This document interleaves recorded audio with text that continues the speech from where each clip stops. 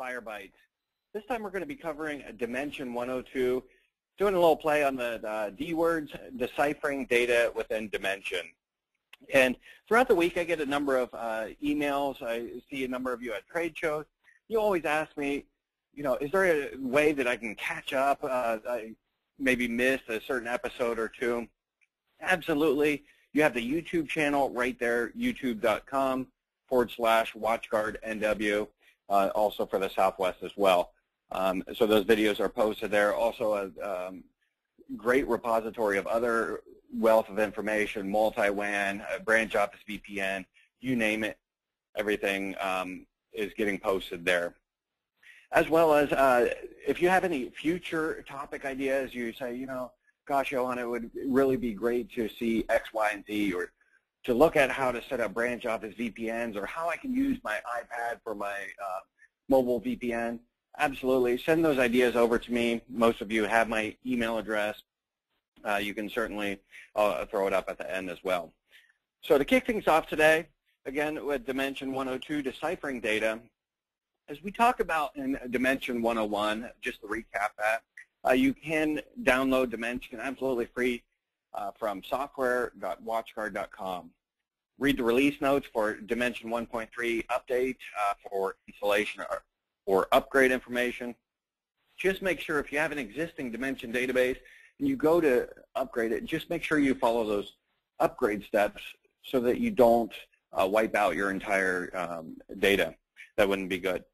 Also know that, um, you know, as a side note, 1195 just posted. Um, so exciting news on the XTM side.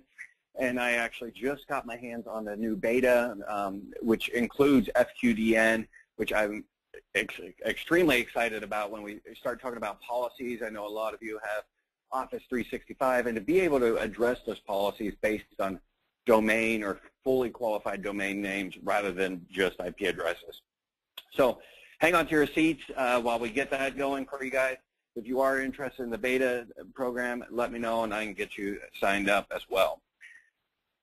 So Dimension, just to recap again, it can be deployed as either a Hyper-V or VMware. Now I have a number of uh, questions from people that say, hey, can I run it in X, Y, and Z build? Can I run it in, um, for instance, uh, Amazon Web Services?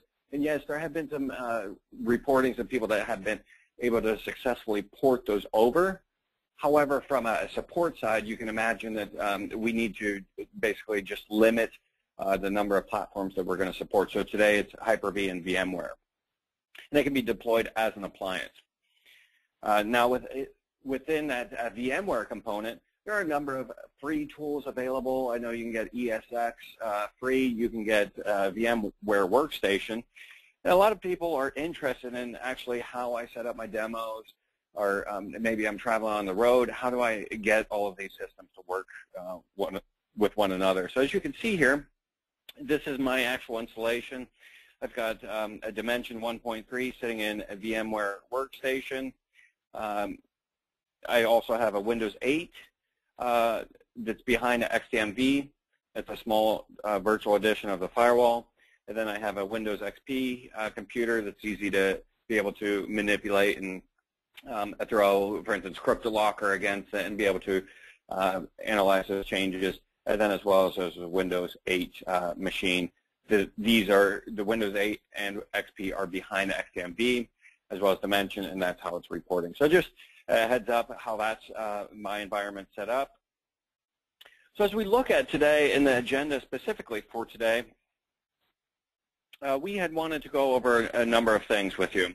So Dimension 102, um, you know, we've kind of been over some of these elements before, but uh, I just want to go over them again and make sure everyone understands there have been a number of changes specifically with user reporting. So rather than more of a summary report, we have the ability now to dive in and find out what exactly, for instance, this uh, example user, Morris Shaw, is searching for something on um, Craigslist. What is he looking for? I had that request quite a bit as a uh, network administrator and a director at a school district where the special ed director would come up and say, you know what, um, we have Johnny under some sort of monitoring plan. We want to find out what he's looking for. And certainly we can give those uh, details to you as well. You know, the typical um, question, why could my boss not get to a go-to meeting last night? Now, if it were anyone else, we might not care so much. However, if it's your boss, obviously you're going to want to get that, um, get to the bottom of that and get it resolved. Why can't Morris uh, download exe files? Now, a number of you already are thinking ahead, thinking about those proxy and um, how the body content types are probably blocking those EXEs. But we're going to show you how to look at those in the log files. And then uh, um, also important uh, element, we're going to investigate data loss prevention. Um, we see a number of people actually now, for instance, getting on APT blocker, and unfortunately I just uh, had a call with a customer of ours. Um, they just bought WatchGuard APT blocker, put it in, it turns out that they um, unfortunately had a data breach. Now, had they had the um, component of data loss prevention, had those signatures running, they would have been able to um, at least curtail that uh, leakage event before it was happening or um, before they found out from another source. So they would be able to see those patterns as it uh, went through. So, and then um, lastly, we're going to look at point of sale traffic you know, again, so critical in this uh, day and age where we see uh, retail breaches left and right, and it's really about that network uh, segmentation, making sure that your point of sale systems aren't able to overlap into, um, well, for lack of a better example, into the HVAC, uh, like with the Target, where a partner entered the HVAC uh, partner portal and they had access into um, cross-contaminated that uh, traffic. So Again, as um, just in true form, we're going to look at uh, more of a hands-on depth. I did want to bring this up, as I kind of alluded to um, previously, as we look at these data breaches, for instance, um, you know, maybe today you get APT blocker, you get it installed. However, maybe you already have an ongoing event in your organization or some sort of infected malware that, that this data is being leaked out. So how can you get that? So you know, uh, just uh, from the slides there, APT blocker is great, but what if you install after a computer is infected? Can we use data loss prevention to monitor for data going across the network? Absolutely. And then uh, the other important element that I want to just uh, reiterate time and time again with all of you, um, and certainly if you have more security tips as well, feel free to share them with us. We're just a community of network administrators trying to protect our networks and um, have best practices. So uh, what I wanted to also look at is let's invest, investigate three common protocols that people typically allowed through. Now, when we talk about people converting over from an ASA to a WatchGuard, um, you know, it's a very, it's an open, most times it's a very open system coming from an ASA. You're looking at um, maybe a, a whitelist. And now we're going to be looking at um, essentially restricting everything and allowing only a few policies to get through. Because as we look at that, for instance, DNS lookups, NTP lookups, um, there's also FTP, not that common, but we're seeing more and more um, malware or command and control traffic or those data loss um, e events going across these typical ports um, such as you know 53 for DNS lookup because generally network administrators have just let those policies um, open on their firewall. So rather than just letting, a, for instance, allow internal to any external for DNS, let's go ahead and look at locking those down. Maybe we have a DNS server on site, or maybe we want to just restrict access to, for instance, Google's, I think it's the most well-known IP address uh, for a DNS server, 8888, or also 8844. So really, let's look at locking that down. Same thing with NTP. Um, you know, a number of uh, malware are using those channels, NTP. We're going to look at that, um, how we can use Dimension to be able to investigate those um, traffic patterns. So as I switch over into my uh, Dimension environment, um, you know, the, the first thing that we wanted to look at is really um, investigating that uh, a user, uh, what they're doing on Dimension. So looking at this, we um, I simply point to, I have a dimension already installed. My firewall is pointing over to dimension. Now, a number of times I hear from people, my dimension reports look nothing like uh, what you have here. And just to recap, as we look through these dashboards, you know, top clients, that's pretty simplistic. Um, we understand what that means, top domains. Now, as we look at, for instance, URL categories and uh, top domains, these two tie directly into WebBlocker. So if you don't have a WebBlocker subscription, you're not going to be able to see those components on there. And again, WebBlocker, not just important for uh, blocking adult materials, but also for that command and control. A number of you have heard me say, you know, it stops CryptoLocker because it can't get those encryption keys. Application is through app control. So again, as we look at our network, we have the ability to find out exactly what's going on, um, as well as top protocols as well down here. So if we were to, for instance, look at um, yesterday's traffic, oh, and by the way, no surprise here to a number of you, I'm sure you're seeing the same uh, results on your networks. We see Top Talker, NCA, um, NCAA.com. For most of you, you're well aware that we're in the midst of March Madness. What can WatchGuard do to block that? Um, check out App Control. I just did a traffic management series on being able to control that streaming media so that they don't monopolize your network. So just be aware that uh, we have that functionality for you with 11.9.4 um, so that you know you could still have people happily watching their brackets crumble.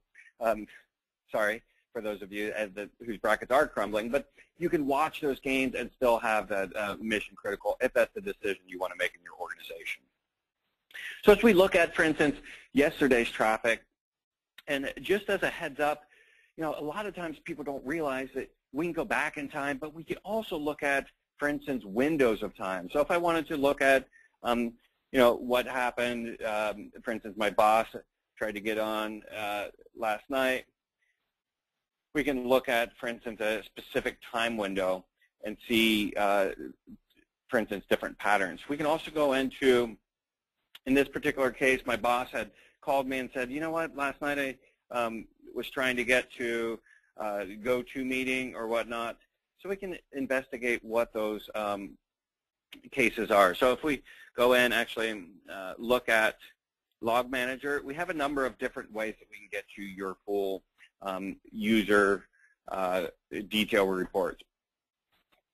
a number of people don't realize that um, a dimension is only storing, for instance, a very small packet header information. It's not storing that whole packet. So um, as you're talking about logging over maybe it's the internet and we're encrypting that so that no one can read that, don't worry, it's not 100% per 100% packet size on there. It's only a header um, as well as a different sizes. So when we look at that, we can see the deny, we see the ports, we see that um, this one was denied from an IP spoofing aspect. But if we wanted to, for instance, we could look at a summary. So again, I'm curious about Morris Shaw. So I'm just going to run a report on Morris Shaw. We're going to see those um, very high level, uh, let's see here,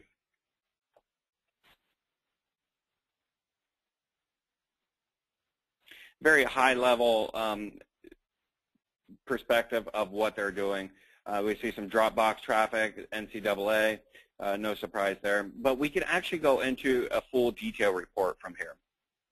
So as we look at, um, you know, the full URL audit details, we can see exactly what um, has been going on with this user. We see safe browsing. Uh, so we right here we have the full URI um, information, um, which would give you the idea of uh, what they're surfing for, for instance, on, um, let's look at uh, Seattle Craigslist, for instance. So if I wanted to, I could type in Seattle Craigslist, find search.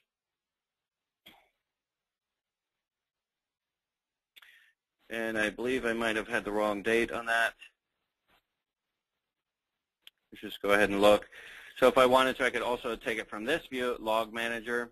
I could say, um, let's look at, for instance, this view here, be able to investigate what that tra um, traffic patterns was uh, giving at that point.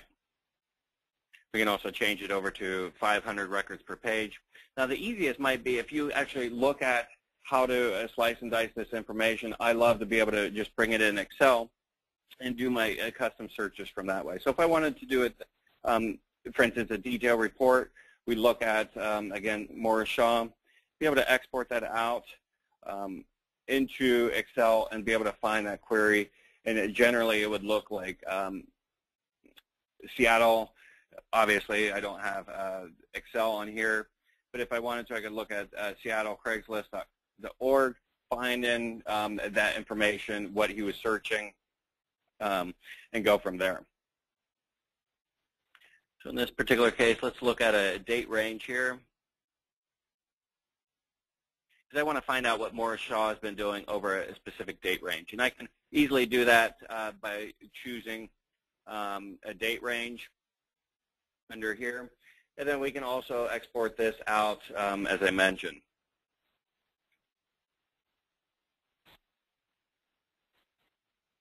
So if we look, going back, looking at that security dashboard, I did want to show um, you another thing right here. So APT blocker, as we look at this, we can see, for instance, we want that visibility right up front on a zero-day malware. So I can see um, three particular uh, cases came through, and I can simply click on them at this point, change the um, cookie crumbs, look at what Caitlin has um, been doing, and then I can go into full detail reports from here. So as we look at, um, for instance, advanced malware, I'm going to look at, for instance, here, this is a perfect season for this, and I'm sure that we're going to see it more often, a tax refund document. So I'm sure that um, any number of you would uh, know someone that would click on a document at this point that says tax refund or enter in your social security number to find out how much. And again, it's that uh, security in depth presentation um, from WatchGuard, being able to look at web blocker, DLP, and now as we look at that um, individual threat level, we see here, for instance, I've tried to modify ActiveX control restrictions. If there was a some sort of macro in that Excel document, we would be able to see that uh, here as well. So as we look at registering a new browser helper, and you know, I was just thinking about that the other day. I remember the days where, as a, a tech department, we used to be able to clean machines 100% from viruses. Now we're seeing that you know, for instance, even Explorer.exe is being um, hijacked and now inserts um, some sort of malware at the base level so that really there's no way to uh, clean a computer without um, reformatting it and there's even uh, some malware that's um, lays within there as well. So the next thing I want to show you is when we talk about, um, for instance, uh, investigating data loss prevention. So looking at um, those reports of data loss prevention. I mentioned that maybe you get APT blocker, or maybe you want to just uh, run a trial, a uh, 30-day trial of APT blocker, DLP, make sure that nothing's going on. So, for instance, under this data loss prevention, I see two rules here. Now, obviously, that's um, quite concerning for me. It should be for every organization. We can actually go in and um, see more details on that activity. Now, one of the, well, both of them were actually mine. I just wanted to point out what, how that was actually picked up. And don't worry about this. Um, we have customer records extract. It's just a fictitious data that I have uh, created.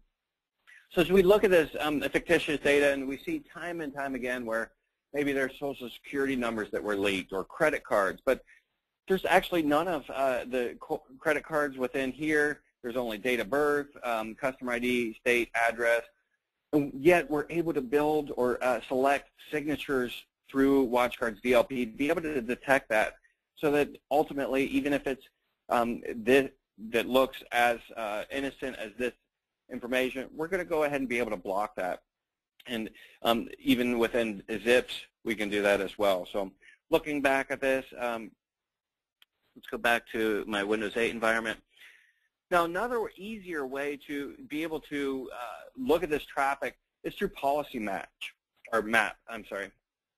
So as I look at this um, traffic, I see a number of, uh, you know, truthfully it does look overwhelming at first, but I can simply break it down by choosing um, individual areas where I want to look at. So for instance, if I want to look at APT, I can simply click on APT and find out um, what's going on in my network. Now in this particular case, what I wanted to look at is data loss violation. So again, how that uh, data is uh, leaking, or ultimately I was able to block it, but how that's trying to traver traverse my network.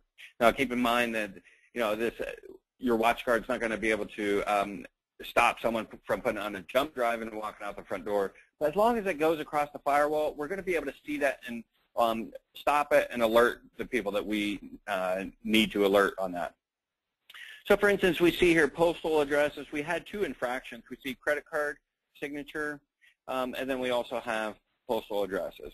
Now in this particular case, um, you might be thinking, well, why was one credit card allowed through? And I was actually just playing with the, the um, security policies at that point, and I had allowed it to go through, and then I had stopped it. So we can easily say, well, let's view those connections, find out exactly what happened.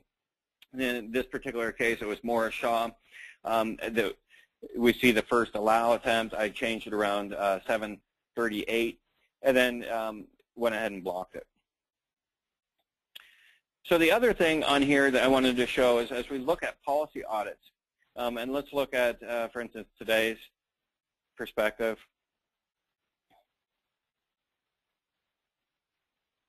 Now, one of the things I wanted to mention is when you build, um, for instance, your policies under there, you have your uh, trusted external, you have your custom. So maybe one of your custom ones is point of sale system, which is what's going on here. Now, as I look at that, I can follow my point of sale traffic as it goes through my network.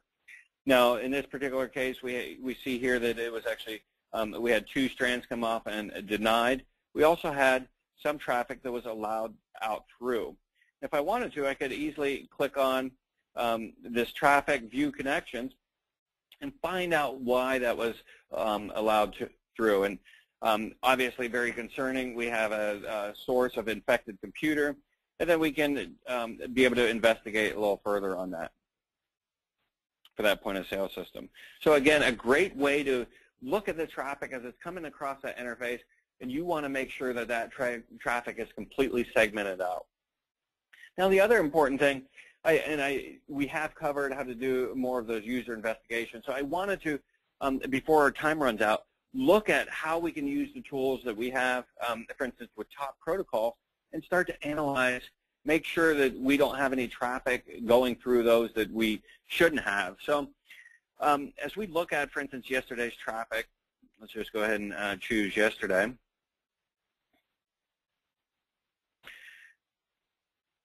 Now, very concerning as well as, um, you know, maybe your policies aren't up to date uh, today, but as we look at, um, uh, let's choose, I have that time slot set.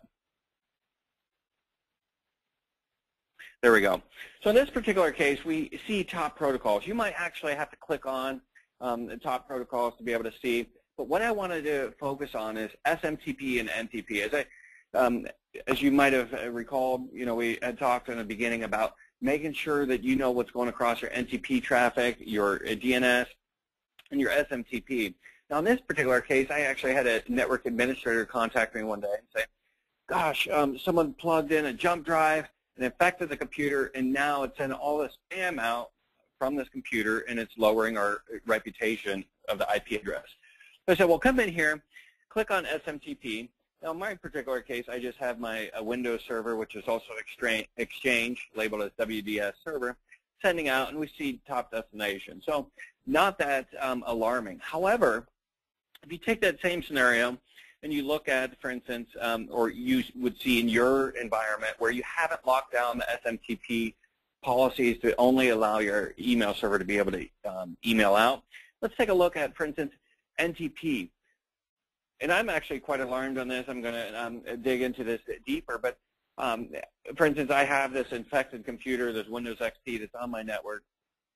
And it's quite alarming because as we look at NTP or um, for my time protocol, traditionally in a, a, corporate environment, we might have uh, one NTP server um, or a redundant one in-house, and that's essentially what controls all of the, um, maybe it's Active Directory, synchronization, because everything's based on time with encryption. Um, so as we look at uh, NTP, for instance, the WDS server, it's not that concerning to see that. That's reaching out probably to Microsoft or to NTP pool. But what is alarming on this is my top um, my infected computers.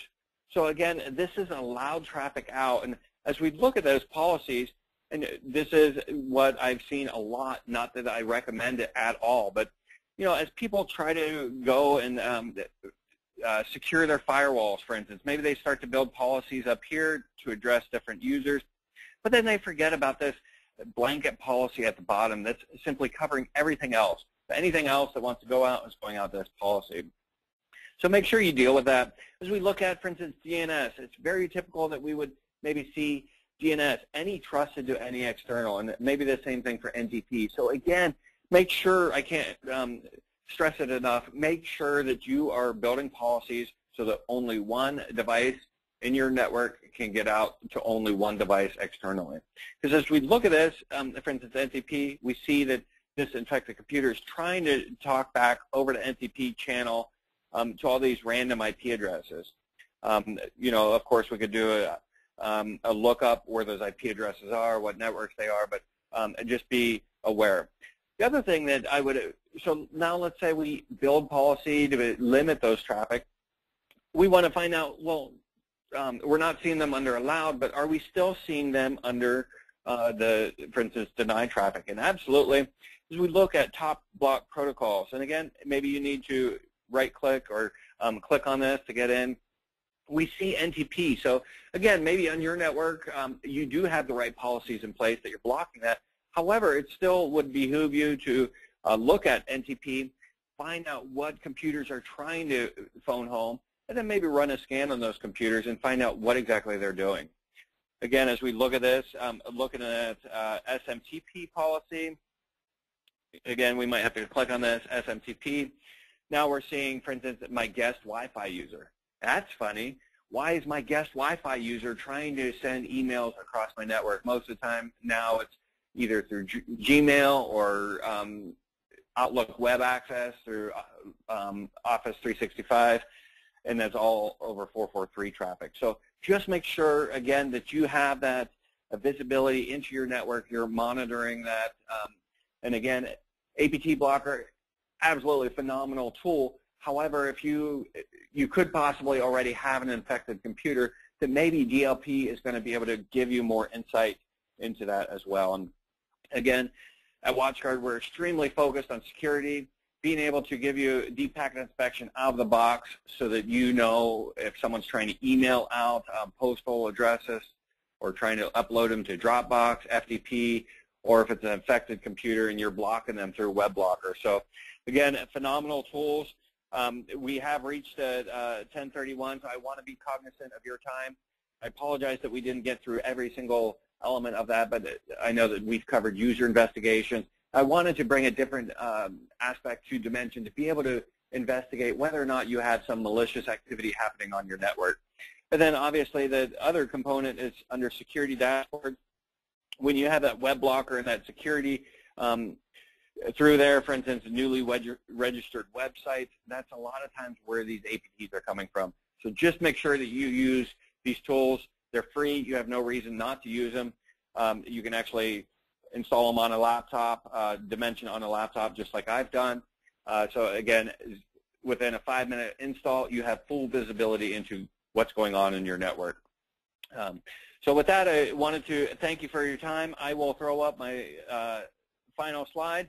The next Fire Bytes is actually going to be on April 17th. Um, and then we also have the YouTube channel there, and again, my personal email address if you want to be able to um, send out future topics or recommendations or any general tips and tricks. I'd love to hear from you guys, and we'll include that in uh, the next Fire Bytes.